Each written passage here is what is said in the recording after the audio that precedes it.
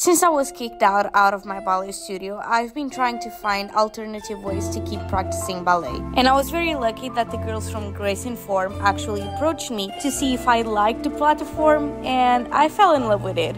It basically has a ton of classes that you can try out just to strengthen, to do barre workouts, or even to do classical, just ballet barres. You also have a ton of center classes focused on some themes.